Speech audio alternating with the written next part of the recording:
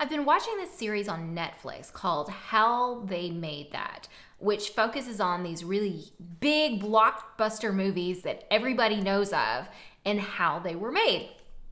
And the funny thing is, as I'm watching this, I notice none of these movies went perfectly.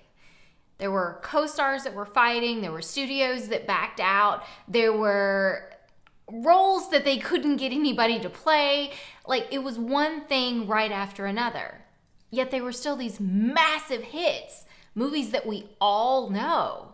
And so it made me think okay, well, if that's a massive hit, why do we cry so much when little things go wrong in our lives? Because you see, nothing wonderful ever goes in a straight line. It'll go up a little bit and then down, and then maybe sideways, and then down again, and then maybe way back up. But it never goes in a straight line. So don't let those little things rock you because you never know what you've got going on. It could be a huge hit or it could be a huge miss. You won't know until you get to the end.